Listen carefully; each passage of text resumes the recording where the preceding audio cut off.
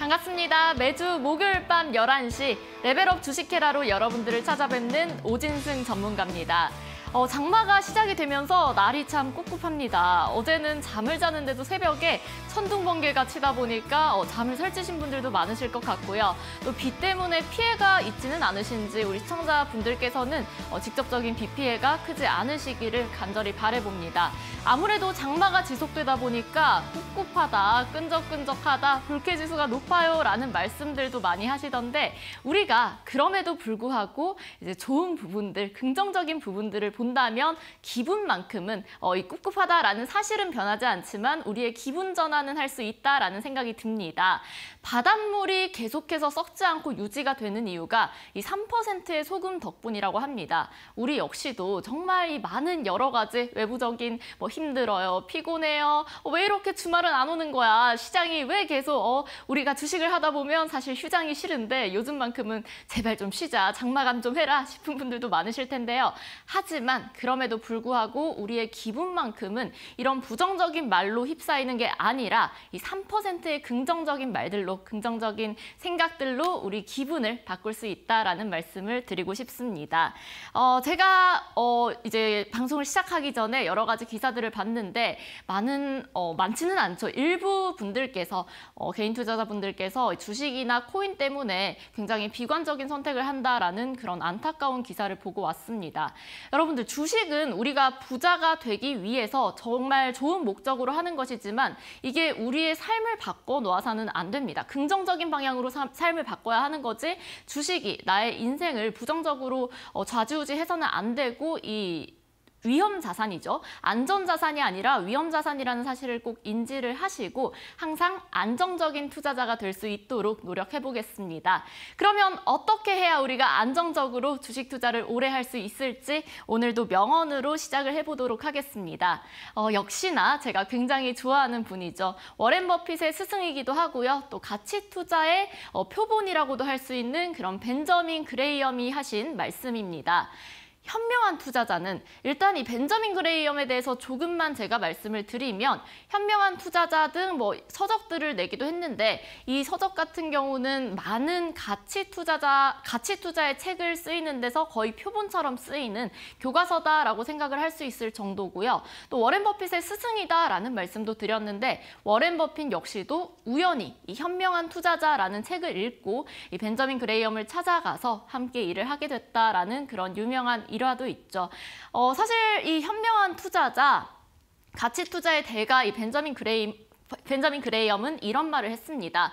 너무나도 당연한 말이기도 한데요. 우리가 현명한 투자자가 되기 위해서는 안정적으로 투자를 하기 위해서는 비관주의자에게서 주식을 사서 즉 쌀 때, 쌀 때 주식을 사서 낙관주의자에게 비싸게 판다라는 말을 했습니다. 어떻게 보면 너무나도 당연한 말인데요. 사실은 우리 개인 투자자분들께서 아, 이 당연한 말을 실천을 하지 못한다라는 어, 그런 사례들을 제가 굉장히 많이 봤습니다. 오늘만 보더라도 어, 사실 우리 노란톡방에 들어오신 분들은 그러지 않으셨지만 어, 그 전에 또 노란톡방 들어오실 수 있는 링크도 한번 안내를 해드릴게요. 강의 들으시다가 혹은 요즘 주식시장 때문에 힘들어요. 도와주세요 하시는 분들께서는 제가 운영을 하고 있는 노란톡방 입장을 하실 수 있는데요. 화면 아래쪽에 나가고 있는 이 QR코드 링크 휴대폰 카메라 갖다 대시면 노란 톡방 입장하실 수 있는 링크 받아보실 수 있고요.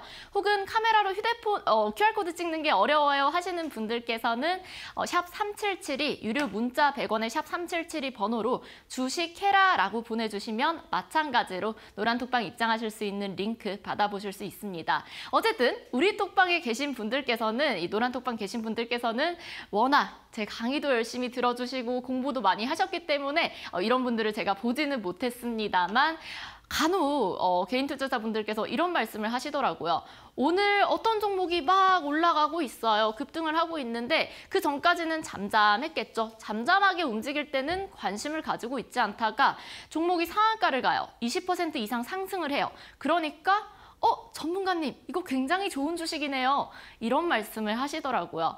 물론 그 기업의 가치는 하루하루의 주가 등락에 의해서 크게 바뀌지는 않습니다. 하지만 우리는 그 기업 가치가 쌀 때 여러 비관주의자들이 싸게 주식을 내놓았을 때 매입을 해서 비쌀 때 그런 낙관주의자들에게 이렇게 올라갔으니까 좋은 주식이 아니라 이미 좋아, 좋았던 기업을 계속해서 좋았던 기업을 가치가 쌀 때 샀다가 비쌀 때 파는 게 주식이다라는 말을 이 벤저민 그레이엄이 했는데요. 자, 주식 을 생각을 했을 때는 잘 와닿지가 않을 수 있습니다. 다음 화면 볼게요.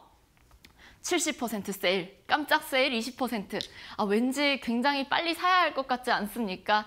솔직히 저도 그런 경험이 있어요. 사실은 그렇게 필요하지는 않은 물건인데 어, 70%나 세일을 한대요. 당장 사야 될 것 같고 이거 내가 지금 사면 지금 안 사면 당장 사라질 것 같고 남들에게 빼앗기기 싫고 그렇기 때문에 솔직히 아주 필요하지는 않지만 뭐 예를 들어서 뭐 10만 원짜리 옷이 있는데 이게 계절이 지나서 시즌 오프기 때문에 70% 세일을 해서 3만 원에 판다라고 가정을 합시다. 성급하게 어, 굉장히 싸다라는 이유 하나로 옷을 샀어요. 자 그런데 막상 집에 가지고 와서 보니까 어, 뭔가 제 스타일이 아닌 것 같고 어, 잘 입게 되지 않을 것 같아서 그 새 상품을 그대로 우리 오이 마켓에 어, 내놓았습니다. 30, 어, 70% 할인을 받아서 샀는데 어쨌든 중고 제품이기 때문에 한번 제 손을 거친 제품이기 때문에 조금 더 저렴하게 매, 어, 판매를 하게 되겠죠. 그렇게 되면 누군가는 아주 값싸게 원래는 10만 원짜리 옷이었던 제품을 70%에 한 번 더 할인을 거쳐서 사실 그 옷의 본질은 전혀 변한 게 없단 말이죠. 하지만 같은 옷이지만 똑같은 옷, 똑같은 새 상품이지만 계절이 지났다라는 이유로 혹은 한 번 손을 탔다는 이유로 어, 본질 자체는 같은 옷임에도 불구하고 굉장히 저렴하게 같은 옷인데도 가치를 낮게 평가를 받은 상태에서 살 수 있다는 겁니다. 그러면 그 마지막에 오이마켓에서 옷을 산 사람은 10만 원짜리 옷을 뭐 2만 원, 만 원대에도 살 수 있다라는 겁니다.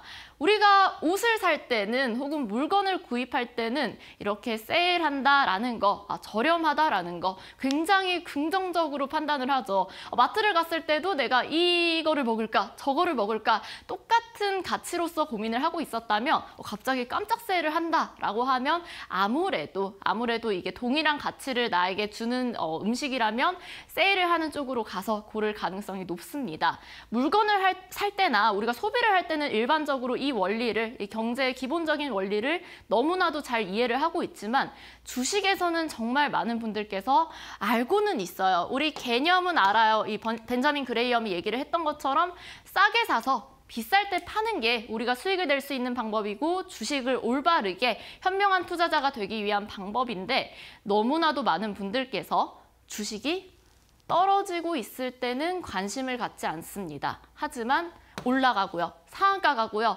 급등을 하고 있으면 아 이거 너무 좋은 주식이다 라고 하면서 그제서야 매수를 하는 분들이 많다라는 겁니다. 어 나는 안 그런데요 라고 생각을 하시는 분들도 계실 것 같아서 제가 예시 차트 한 가지 가지고 왔습니다. 셀트리온이라는 어, 기업이고요. 물론 요즘은 여러분들께서 크게 관심을 가지지 않은 기업일 수도 있습니다. 어, 대표적인 제약바이오 대장주고요. 아, 관심을 가지고 있어요 라고 하시는 분들도 계실 것 같아요. 왜냐하면 오늘 또 장중에는 한 4% 이상 오르기도 했더라고요. 자, 이렇게 올라서 관심을 가지는 게 아니라 사실 작년, 재작년쯤이었죠. 코로나 이슈 때문에 제약바이오들이 급등을 하면서 셀트리온이 40만 원대 가까이 올라갔던 시절이 있었습니다.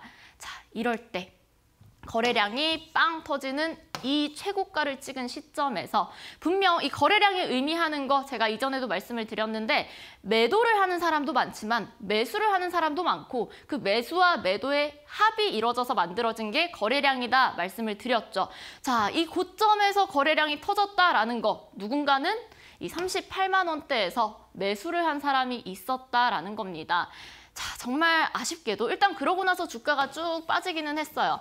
많은 개인 투자자분들께서 셀트리온이 30만 원 이상인 이런 시점에서는 굉장히 큰 관심을 가지고 아 좋은 기업이라더라. 어, 코로나 관련해서 제약바이오 기업들이 앞으로 계속해서 성장을 할 거다 할 거라더라. 이런 뭐뭐 하더라라는 말을 듣고 투자를 비싸졌을 때 기업의 가치에 비해서 굉장한 고평가를 받고 있는 시점에서 아 좋다라는 그 생각, 잘못된 인식을 가지고 매수를 하기 시작합니다. 하지만 주가가 쭉 빠졌고요. 기대감 재료가 소멸이 되면서 이제 거래량도 서서히 줄어들고 이 관심에서 많이 멀어지는 시점까지 내려왔고요. 자, 지금은 정말 이제 대부분의 투자자분들께서 크게 관심을 가지는 기업은 아닐 수 있습니다. 그 거를 이제 증명해 주듯이 우리 셀트리온의 최근 수급을 또 지켜보도록 하겠습니다. 외국인과 기관은 누적 순매수 5월 말부터 그리고 어제 기준까지죠. 한 달 동안 누적 순매수량이 순 매수세를 유지를 해주고 있지만 개인 투자자분들 아 물론 혹시 오해를 하실까 봐 말씀을 드리면 제가 셀트, 셀트리온을 지금 공략을 하자 뭐 이런 말씀은 아닙니다. 여전히 고평가 어 TBR만 생각을 했을 때, 기업의 청산 가치만 생각을 했을 때는 고평가 영역이기는 하지만 어쨌든 이 주가의 움직임 차원에서 말씀을 드리면 현재 주가가 이렇게 빠진 시점에서 고점을 찍고 빠진 시점에서는 개인 투자자분들께서 오히려 주가가 다 빠지고 가격이 떨어지고 나니까 매도를 싼 가격에서 매도를 지속적으로 하고 있고요. 팔고 있고요. 자, 그리고 과거 30만 원 후반대에 비해서 지금 현재 가격이 많이 떨어지니까 오히려 외국인 기관 투자자들은 종목을 매수를 하고 있다라는 점 체크를 해볼 수가 있습니다. 물론 우리가 투자의 절대적인 지표가 외국인 기관의 수급이 될 수는 없습니다만 어, 한 가지 생각해 볼 만한 거리는 분명 있다라고 생각을 합니다. 주가가 높아졌을 때 거래량이 빵 터지는 이런 시점에서는 많은 개인 투자자분들께서 셀트리온을 좋은 주식이다, 좋은 기업이다라고 생각을 했지만 즉 비쌀 때는 매수해야 할 주식이라고 반대로 생각을 했고 오히려 주가가 떨어지니까 이전에 비해서 더 낮은 가격에서 훨씬 더 저렴하게 판매가 되고 있는 이 주식을 이제는 아, 답이 없다, 안 좋은 주식이다 라며 매도를 하고 있다라는 점 우리가 다시 한번 내가 과연 주식을 쌀 때 사서 비쌀 때 팔고 있는지 현명한 투자자처럼 이 벤저민 그레이엄이 얘기를 한 것처럼 매매를 하고 있는지 한 번 더 생각을 해보셨으면 좋겠습니다. 자, 제가 삼성전자에 대한 악감정이 있는 건 아닌데 시가총액이 아무래도 1위인 기업이다 보니까 예시 종목으로 많이 말씀을 드립니다. 마찬가지죠. 삼성전자 역시도 과거에는 주가가 시장이 쭉 빠지게 되면서 굉장히 비관적인 얘기들이 많이 나왔습니다. 아, 지금 주가 올라오는 거 크게 의미가 없을 거다. V자 반등 불가능하다. 올라오더라도 빠질 거다. 이런 여러 가지 어, 굉장히 좀 부정적인 얘기들을 이겨내고 주가가 쭉 올랐죠. 어디까지? 4만 원대부터 9만 6천 원대까지. 9만 원대까지 가기 시작을 하니까 이제서야 많은 분들께서 이런 얘기를 하기 시작합니다. 아, 삼성전자 우리나라 최고 기업이지 10만 전자 갈 거다. 심지어 12만 전자 갈 거다. 지금 매수 타점이다. 라면서 정말 지금 생각해보면 말도 안 되죠. 물론 결과론적인 거기는 합니다만 우리가 주식을 매입을 하기 위해서는 기업이 쌀 때 어, 제 가치에 비해서 저평가를 받고, 있, 받고 있을 때 외부적인 요소들로 인해서 쌀 때 매입을 해서 비싸졌을 때는 오히려 아 앞으로 더 갈 거야 10만 전자 갈 거야 하는 그런 낙관주의자들에게 매도를 해야지만 이 시장에서 이길 수 있는 사실 우리 주식시장이라는 게 대다수의 투자자분들께서 많이 어려워하고 소수가 성공을 하는 시장입니다. 자 그렇기 때문에 우리는 대중과 똑같이 가서는 안 됩니다. 현명한 투자자가 되기 위해서는 남들 모두가 yes를 외칠 때 no를 외칠 수 있는 그런 용기도 있어야 한다라는 말씀을 드리고 싶습니다. 자, 어쨌든 오늘은 이 현명한 투자자에 대한 얘기를 꼭 드리고 싶었고요. 자, 더불어서 노란톡방에서 또 많은 분들께서 질문을 해주셨습니다. 최근 시장에서는 여러 가지 개별 종목들에 대한 질문도 많으셨을 텐데요. 자, 관련해가지고 종목 질문도 해주셨는데 어, 저도 TV 시청을 하다 보니까 제가 고민하고 있는 종목이 있어요. 이 종목 어떻게 대응해야 할지 궁금해요. 혹은 시장 관련해서 질문이 있어요. 하시는 분들께서는 언제든지 노란 톡방 열려 있습니다. 자, 화면 하단에 나가고 있는 QR코드 카메라 갖다 대시면 어, 노란 톡방 입장하실 수 있는 링크 받아보실 수 있고요. 더불어서 이 QR코드 찍기가 어려워요 하시는 분들께서는 휴대폰 문자로 유료 문자 100원으로 샵 3772 주식해라 네 글자 보내주시면 마찬가지로 노란톡방 입장하실 수 있는 링크 받아보실 수 있습니다. 입장하셔서 고민되셨던 부분, 아 그러면 현명한 투자자가 되기 위해서는 어떻게 매매를 하면 좋을까요? 이런 질문들 함께 고민과 함께 나눠보면 좋을 것 같습니다. 자, 어쨌든 첫 번째로 질문을 주신 종목 바로 GS 글로벌이라는 종목입니다. 어, 그저께였나요? 이번 주 들어서 이제 석탄 가격 관련한 이슈가 나오게 되면서 한 차례 급등을 하기도 했습니다. 자, 물론 이슈가 떴을 때 단타 매매, 단기 매매, 스캘핑 매매 같은 경우는 우리가 짧게 수익을 내는 거기 때문에 크게 어렵지 않게 대응을 할 수가 있는데 제가 앞서서 말씀을 드렸죠. 이슈가 떠서 지금 주가가 올라가서 가치가 높아졌는데 가치가 기업의 본질은 똑같은데 주가만 올라갔다라는 거겠죠. 주가가 올라갔는데 그런 시점에서 매수를 하게 되면 이제 또 고민을 하게 된다라는 겁니다. 우리 시청자분께서도 어, 제가 여기서 매수를 했는데 어떡할까요? 매도를 해야 될까요? 이렇게 질문을 해주셨는데 자 일단 항상 기업은 실기 차이 하나씩 뜯어서 보도록 하겠습니다. 기업의 실적 보도록 할게요. 사실 GS 글로벌을 매수를 하셨다라는 거는 뭐 실적적으로 보고 기업의 가치를 보고 들어가신 거는 당연히 아닐 거라고 생각을 합니다. 아무래도 이슈, 테마성인 이슈를 보고 단기적으로 접근을 하셨는데 어, 사실 단기 접근을 하신 것 치고는 비중은 조금 많다라는 말씀을 드리고 싶고요. 어쨌든 변동성을 이용한 매매가 단타 매매, 스캘핑 매매이기 때문에 변동성이 크다 라는 거는 빠르게 수익을 낼 수 있다라는 이점이 있지만 반대로 급등락이 심해서 우리가 좀 손절을 칠 가능성도 중장기 투자에 비해서는 조금 더 높다라는 것도 염두에 두셔야 하고요. 그렇기 때문에 저는 단타 매매를 할 때는 좀 비중은 적게 대응을 하시는 게 우리가 안정적인 투자를 할 수 있다라는 말씀을 드리고 싶습니다. 자, 어쨌든 기업 실적을 보시면 굉장히 실적이 우량한 기업은 아닙니다. 물론 자본적으로 보시면 뭐 시가총액에 비해서 아주 불안정한 자본이다 뭐 돈이 아주 없는 기업이다 그럴 수는 없지만 기업이 가진 자산을 조금 더 뜯어보니까 부채 비율이 300%가 넘는데 유보율이 60% 정도밖에 되지 않는 그런 기업입니다. 즉 기업의 현금 흐름에 있어서는 어, 조금 아쉬운 우리가 사실은 중장기 투자를 하기에는 다소 어, 리스크가 좀 큰 부분도 있다라는 말씀을 드리고 싶고요. 그렇기 때문에 이렇게 테마적으로 접근을 한 기업 같은 경우는 우리가 손절가 같은 경우도 명확하게 정해 두시고 대응을 하시면 좋겠습니다. 자, 어떤 이슈가 있었는지 조금 자세하게 살펴보니까요. 일단 GS 글로벌 같은 경우는 대표적인 정유, 석유화학 사업을 영위를 하다 보니까 어, 이 석탄 관련해서 대장격인 역할을 하는 종목이었죠. 어, 이번 주에 아시아 석탄 가격이 여름철 성수기를 맞아서 역대 최고치를 기록을 했다라는 라는 그런 기사가 떴고요. 더불어서 우리나라와 일본 같은 경우는 이렇게 여름철 성수기를 앞두고 전력을 열, 연료를 비축하고 있다라는 기사까지 뜨게 되면서 이렇게 GS 글로벌을 비롯한 석탄 관련주들이 상승을 했습니다. 차트 보도록 하겠습니다. 자, GS 글로벌 같은 경우도 과거에 이슈가 나왔을 때 초반에 분명 우리가 주식을 저렴하게 비싸지 않게 매입을 할 수 있는 구간도 있었습니다. 우리는 항상 주가가 올랐을 때 이런 꼭지점에서 매수를 하는 게 아니라 이미 이슈가 뜨고 이미 기사가 떴을 때는 이렇게 윗꼬리 구간에서 우리가 흔히 물렸다라고 표현을 하는 그런 구간이 될 수 있기 때문에 저는 남들이 사자 사자 사자 남들이 아 이거 좋다더라 좋은 이슈가 떴을 때 그럴 때 매수는 잠깐 기다리자라는 말씀을 드립니다. 왜냐하면 우리에게는 굉장히 좋은 매수 타점인 어, 한글을 잘못 썼어요.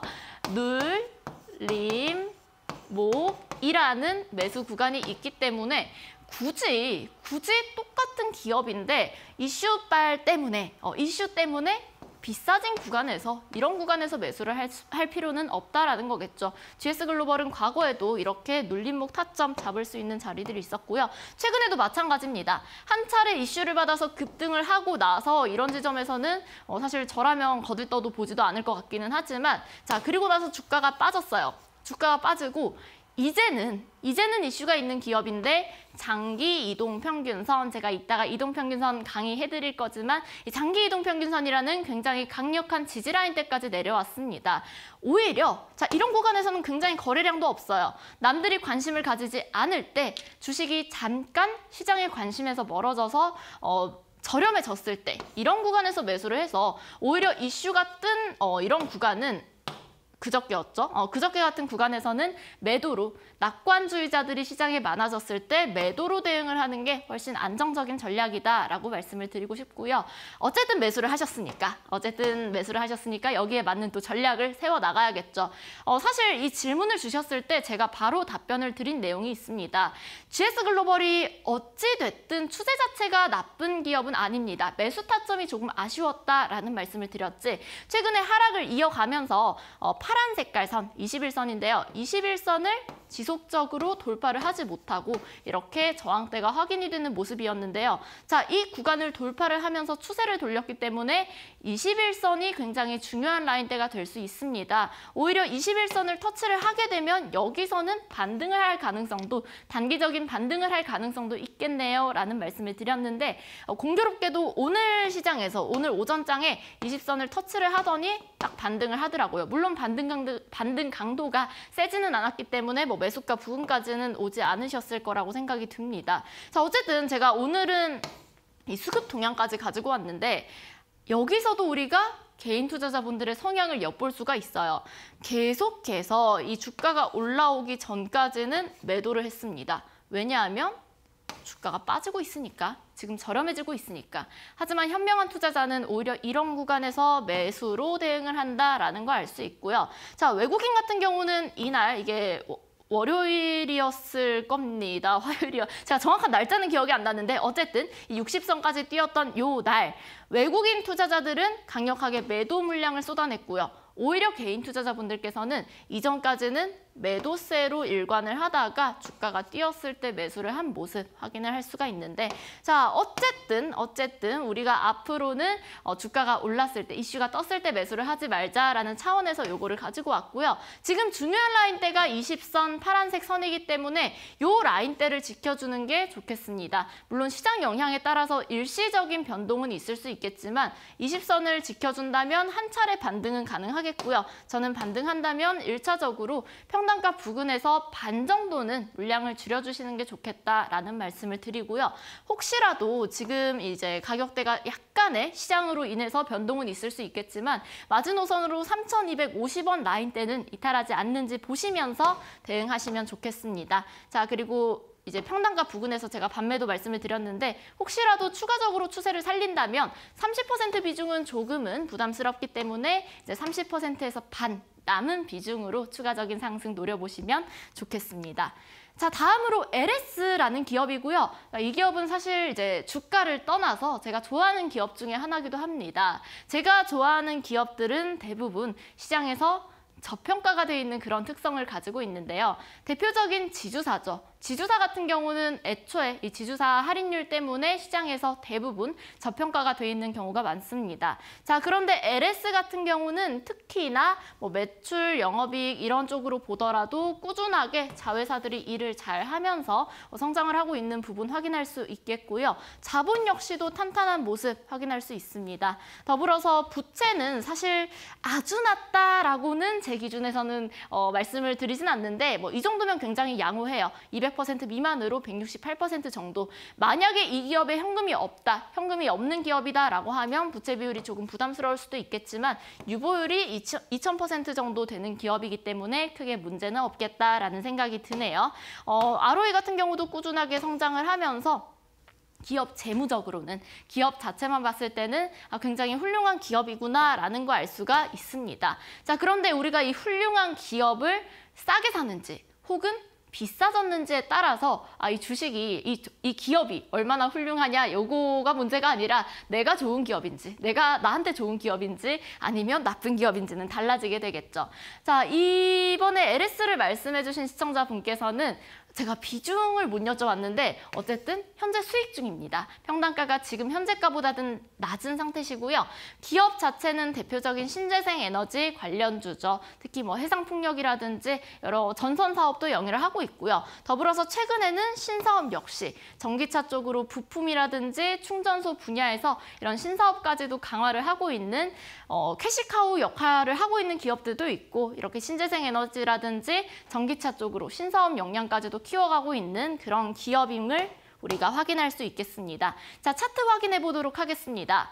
LS 같은 경우는 일단 다행히도 5만 4천 원대에서 매수를 하셨다라는 거는 물론 제가 매수 시기가 언제인지 정확하지, 정확하게는 모르지만 어, 비쌀 때 7만 원, 8만 원 이런 구간에서 매수를 하지 않으셨습니다. 매수가 자체는 굉장히 매력적인 가격대에서 잘 담으셨다라는 생각이 들고요. 다만 지금 수익 중이시기 때문에 이거를 얼마나 더 가져갈까, 언제까지 가지고 갈 수 있을까 여기에 대한 고민이 있으실 것 같은데요. 일단 제가 지금 비중이 물음표, 비중을 모르는데 비중이 아주 크지만 않는다면 LS 같은 경우는 기업적으로도 그리고 이슈 측면에서 봤을 때도 차트적으로도 크게 부담이 있는 기업은 아니기는 합니다.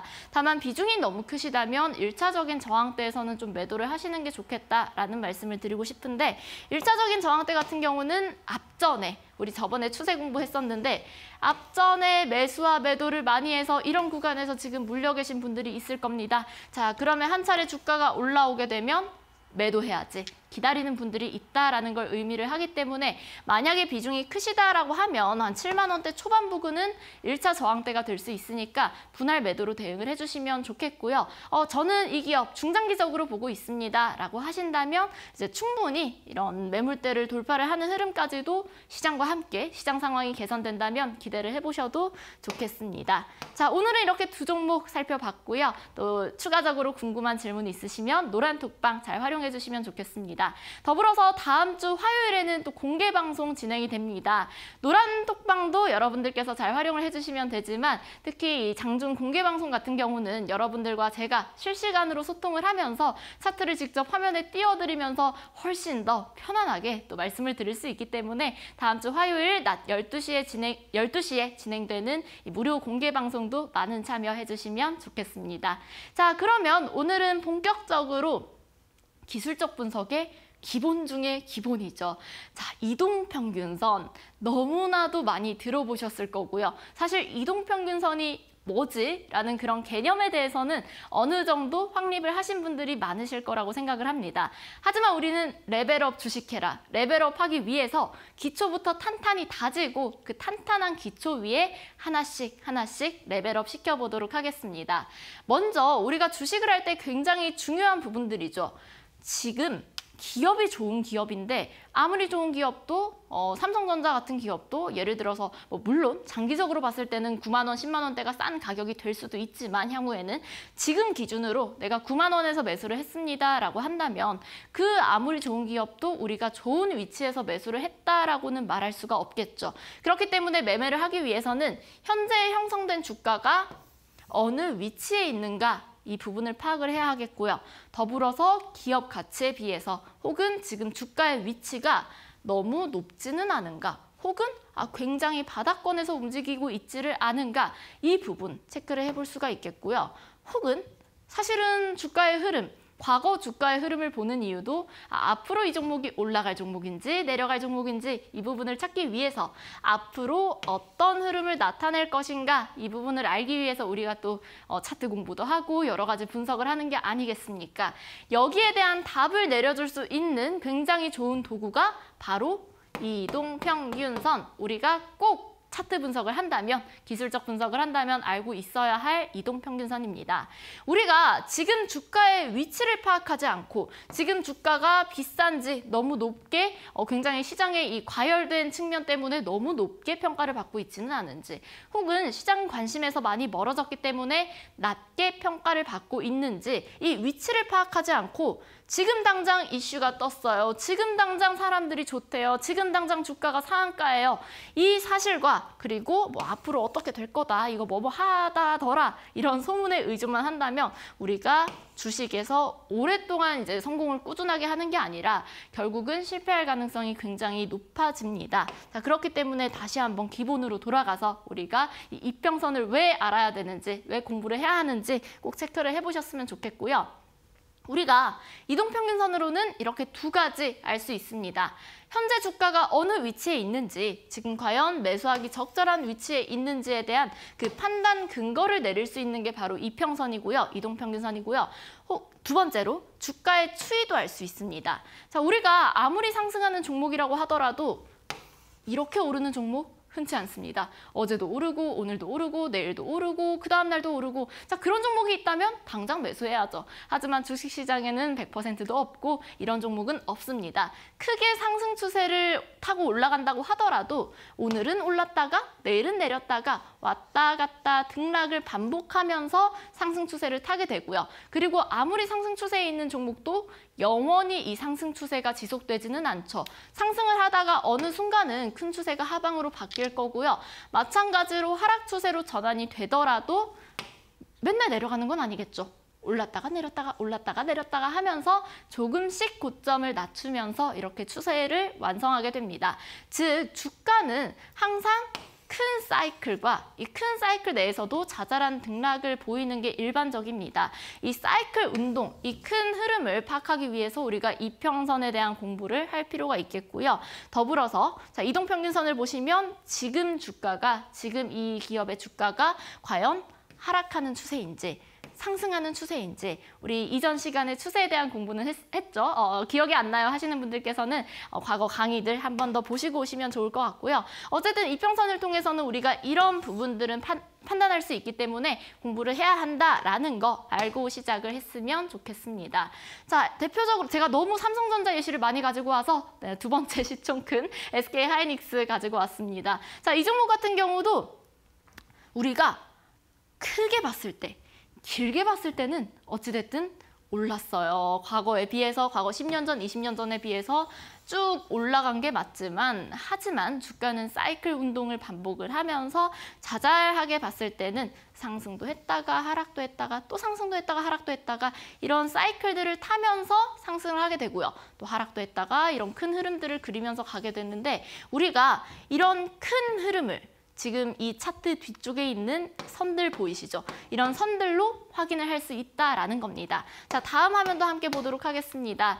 어, 사실 제가 이 부분 굉장히 기본적인 개념이기 때문에 여러분들께 한 번 더 굳이 말씀을 드릴까 고민을 하기도 했는데 그럼에도 불구하고 너무나도 기본적인 원리이지만 이 부분을 알아야지 이평선의 기본을 확실하게 이해를 한 사람만이 활용도 잘 할 수 있다라고 생각을 했기 때문에 가지고 왔습니다.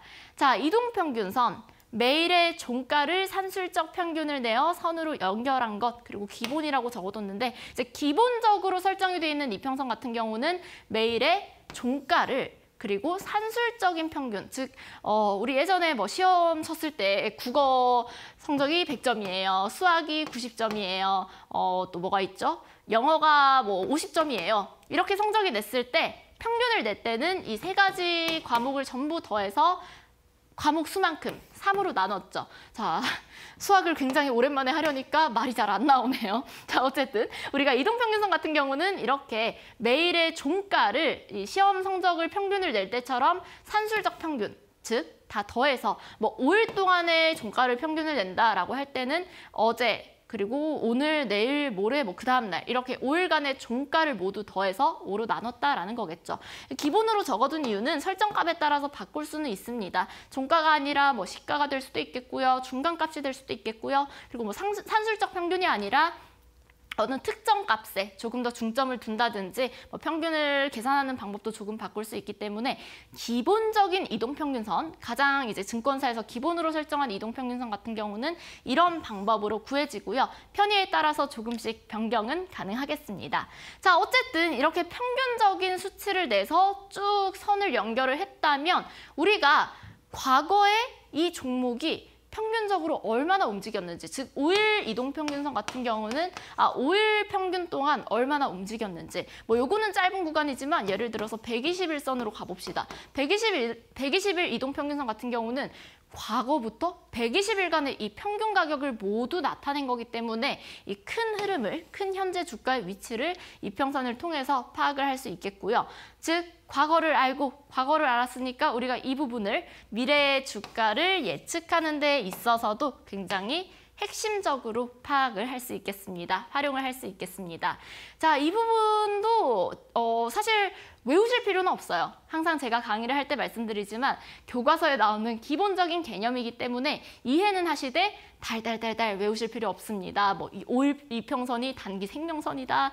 20일 이평선이 추세선이다. 안 중요해요. 전혀 중요하지 않고요. 그 의미만 우리가 잘 파악을 해보도록 하겠습니다. 자, 5일 이평선 같은 경우는 일주일 동안 왜냐하면 주식시장은 월화수목금토일 열지 않죠. 일주일이면 월화수목금 특별히 공휴일이 없는 날에는 5일 동안 시장이 열리게 되고요. 자 그렇기 때문에 일주일 동안 그 한 주 동안 주식을 매매한 사람들의 심리를 평균적으로 어느 가격대에서 매수와 매도가 많이 이루어졌는지 이 부분을 나타낸다라는 거 체크를 해볼 수가 있습니다. 자, 일주일 동안의 추세기 때문에 단기적인 우리 일주일 동안의 이평선을 가지고 어, 몇 년간의 흐름을 보겠어요. 사실은 어렵겠죠. 자, 그렇기 때문에 5일 이동평균선은 단기 추세 파악에 중요한 역할을 하겠고요.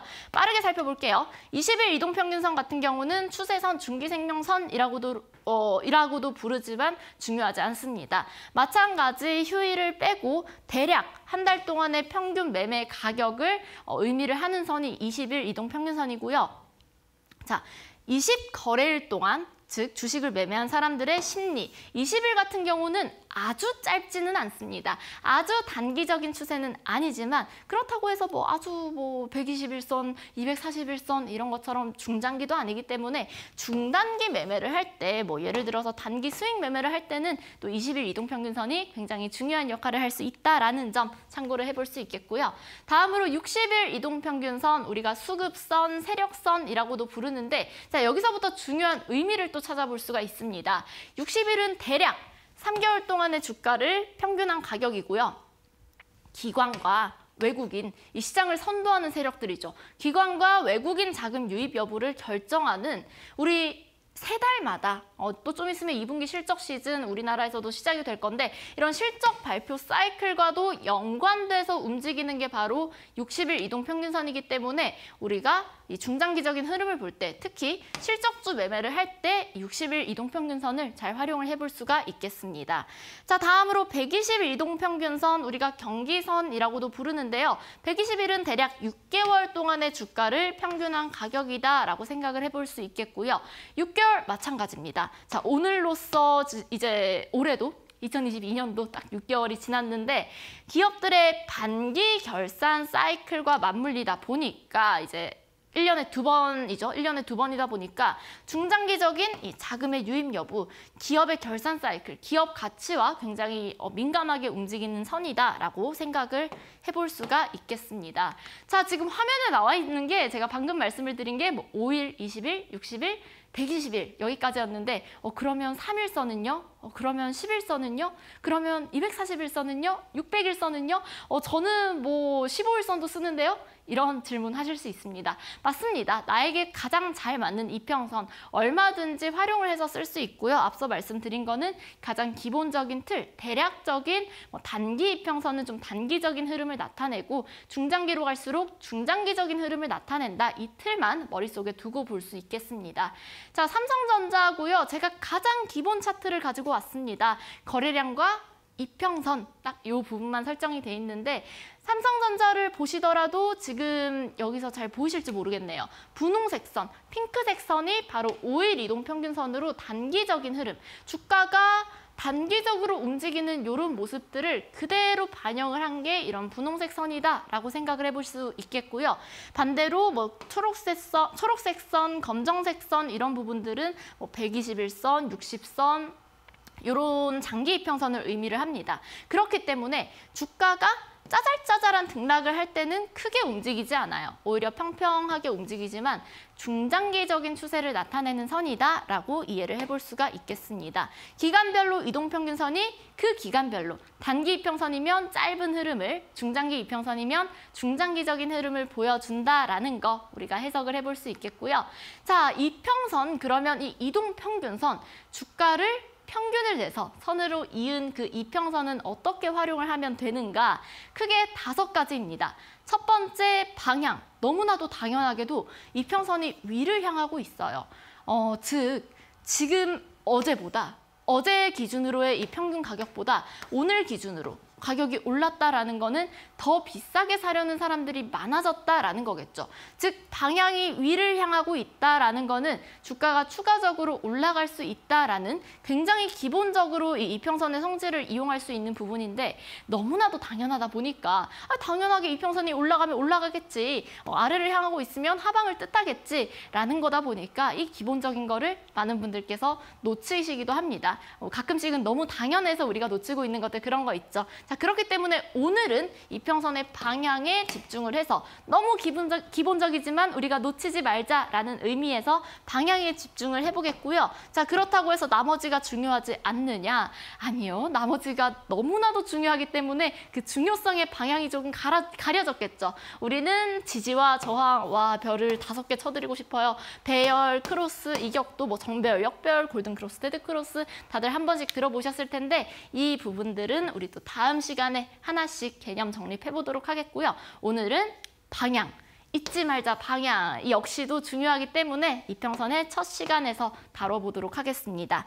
자 다음 화면 보시면 방향으로 이 하, 상승과 하락을 확인할 수 있다라고 말씀을 드렸고요. 앞에서 말씀을 드린 것처럼 이평선이 위를 향하고 있다라는 거는 아, 과거의 주가에 담긴 심리보다 최근으로 갈수록 비싸게 사려는 사람들의 심리가 담겨 있는 것이므로 그래서 방향이 위쪽을 향하고 있는 거고요. 만약에 방향이 아래쪽이다라는 게 의미를 하는 거는 아, 지금은 과거보다 이전에 있었던 것보다 어, 시간이 흘러갈수록 싸게 사고 아, 이제 조금 가격이 떨어졌어도 그냥 매도해야겠다 이런 심리가 강해졌기 때문에 어, 이평, 이평선의 방향이 아래쪽으로 향한다라는 거 확인을 할 수가 있습니다.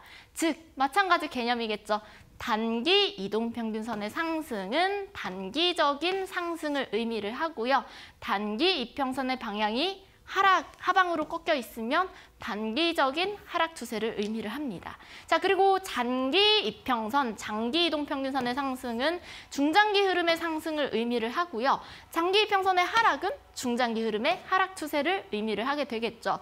주가는 이렇게 이동 평균선의 방향대로 움직이는 성질이 있기 때문에 우리는 꼭 이동 평균선의 방향도 확인을 해야 된다라는 겁니다. 지금 여러분들께서 들으셨을 때는 아 당연하죠. 당연히 확인을 하죠 라고 하실 수 있는데 제가 또 다음에 이동 평균선의 아버지인 뭐 그랜빌의 법칙 이런 것들이 있는데 역시나 법칙 이름은 중요하지 않고요. 우리가 활용을 해야 하는데 그 법칙 중에 한 가지가 방향을 이해를 해야지만 우리가 활용할 수 있는 법칙이 있기 때문에 오늘 내용 결코 가볍게 생각하지 마시고 이평선 강의가 끝날 때까지 꼭 기억해 주셨으면 좋겠습니다. 예시 차트 보면서 말씀을 드릴게요. 자, 화승 RNA라는 기업이고요. 이 종목의 차트 보시면 자, 제 차트에서 초록색 선이 120일 이평선으로 가장 장기적인 지금 흐름을 나타내고 있고요.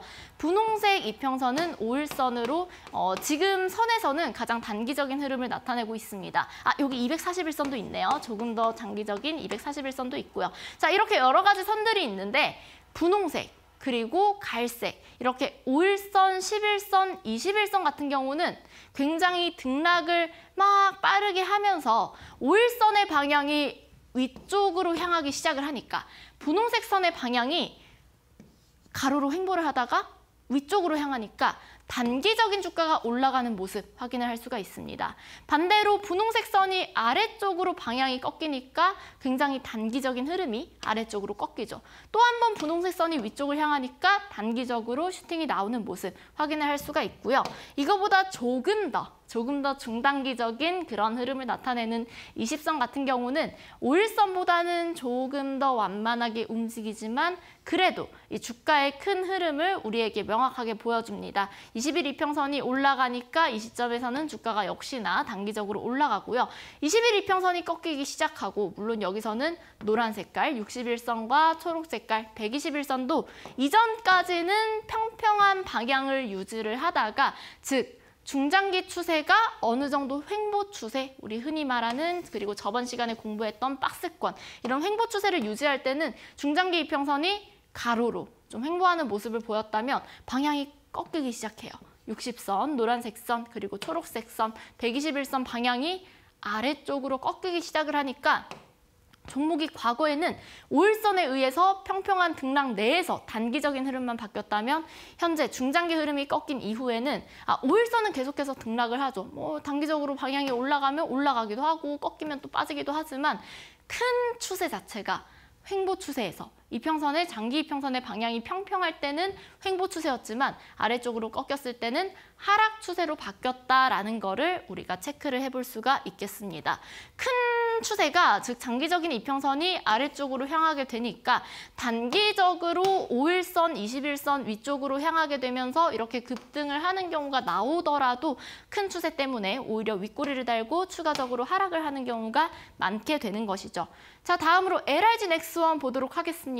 어, 사실 이런 기업들 우리가 꾸준하게 보유를 하고 있으면 정말 마음 편한 그런 기업이죠. 자 LRG 넥스원 같은 경우는 편안하게 우리가 장기적으로 볼 수 있었던 이유 바로 장기 이동 평균선이 지금 제 차트에서는 제일 아래쪽에 있는 241선 굉장히 장기적인 흐름을 나타내는 이동 평균선이죠. 더불어서 초록 색깔 선 121선 그리고 61선 우리가 일반적으로 뭐 61선, 121선 그리고 그 이상의 선들을 장기 이동 평균선으로 어, 생각을 하는데 이 장기 이평선들이 위쪽으로 향하다 보니, 보니까 추세 자체가 물론 단기적으로 사이클은 보입니다. 51선, 아, 5일선과 21선 같은 경우 5일선, 11선, 21선은 등락을 반복하면서 단기적으로는 아래쪽으로 꺾였다가 또 위쪽으로 꺾였다가 이렇게 짧, 짧은 등락들은 반복을 하지만 큰 추세, 61선, 121선의 방향, 241선의 방향이 위쪽으로 향하고 있다라는 점에서 오히려 단기적으로 눌리더라도 올라가고 눌리더라도 올라가고 그런 모습들 확인을 할 수가 있겠습니다. 자, 다음 예시 보시면 CS 베어링 또 최근에 급등을 했던 종목이죠. 마찬가지입니다. 장기 이동평균선 60선, 120선, 240선이 하방을 향하고 있으니까 아래쪽을 향하고 있으니까 종목이 5일선이나 11선이 방향이 위쪽으로 바뀌면서 일시적으로 상승을 하더라도 중장기적인 추세가 하방이기 때문에 쉽사리 올라가지를 못합니다. 지속적으로 올라오다가도 단기적으로 올라오다가도 빠지고요. 단기적으로 올라오다가도 빠지고요. 급등을 했지만 5일선 방향이 살짝 위쪽으로 틀었지만 윗꼬리를 달고요. 이런 흐름들을 계속해서 이어왔는데 자 올해 2월 달부터였네요. 2월쯤부터 해서는 60월선, 노란색 선이 조금씩 평평해졌고요. 121선 같은 경우도 하락을 멈추고 평평해지기 시작을 했고요. 241선은 물론 아직까지 굉장히 어, 장기적인 흐름이기 때문에 올해 초까지는 어, 하방 추세를 유지를 하긴 했습니다. 자, 그렇기 때문에 이 종목이 121선까지 올라왔을 때는 아직까지 하방이기 때문에 강한 저항을 막 받고 추가적으로 하락을 하게 되지만 이제 방향이 서서히 평평하게 바뀌기 시작한 60일선과 121선 같은 경우는 이렇게 일시적인 돌파를 하면서 5일선 방향도 급격하게 위로 올라가고요. 추세 자체가 조금씩 전환이 되는 모습 확인을 할 수가 있습니다. 자 그리고 현 시점까지 오니까 지금 241선까지도 평평하게 만들어진 모습이죠. 자 그렇기 때문에 주가가 과거에는 조금만 올라가도 5일선의 방향이 위쪽으로 향하더라도 큰 추세가 중장기적인 추세가 하방이었기 때문에 추가적인 상승을 하지 못했지만 최근 들어서는 중장기적인 추세 역시도 평평하게 그리고 61선 같은 경우는 자세하게 보니까 방향이 위쪽으로 바뀌었습니다. 자 그렇기 때문에 주가가 과거에 비해서는 훨씬 더 편안하게 상승을 한다라는 점 볼 수가 있겠습니다.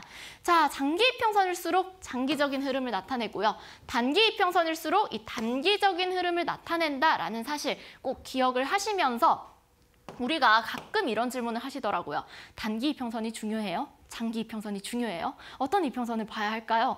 어, 저는 다른 이평선 600선, 뭐 300선 다 보고 싶은데 안 되나요? 이런 질문들 하시는데 다 보셔도 됩니다. 자, 하지만 이 기본 개념을 기억하자라는 거죠. 내가 중장기적인 추세를 보고 싶어요 하신다면 장기 이평선에 집중을 해야 하고요. 단기 어, 단타 매매를 할 때는 사실 장기 이평선이 아래쪽으로 향해 있더라도 단기 이평선의 흐름을 보면서 충분히 매매를 할 수 있습니다. 자 다음 화면 보시면 지금 동신건설 차트고요. 장기 이평선이 하방을 향하고 있어요. 장기 이평선들은 쭉쭉 내리꽂고 있습니다. 하지만 우리가 이 종목 단타 매매 못할까요? 단기 매매 못할까요?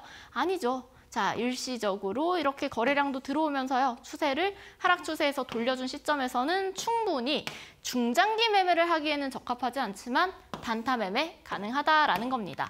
자, 다음 화면 보시면 신화인터텍이라는 기업이고요. 마찬가지입니다. 중장기적인 추세는 아주 명확하지는 않죠. 121선, 초록색 선, 그리고 240선, 61선 같은 경우는 평평한 흐름을 유지를 해주고 있습니다. 자, 그런데 단기 이동 평균선, 5일선의 방향, 11선의 방향이 굉장히 급격하게 위쪽으로 향하는 모습, 단기적인 흐름을 상방으로 돌린 모습 확인을 할 수가 있겠고요. 자, 그렇기 때문에 우리는 또 이런 시점에서 충분히 단타 매매로 단기 매매로는 접근할 수 있다라는 겁니다. 물론 중장기적인 추세는 중장기적인 추세는 이런 중장기 이평선을 참고를 하기는 해야겠지만 나의 포지션이 어, 지금 단타 매매를 할 거예요. 혹은 중장기 매매를 할 거예요. 라는 그 포지션을 명확하게 하시고 이평선도 활용을 하시면 좋겠습니다.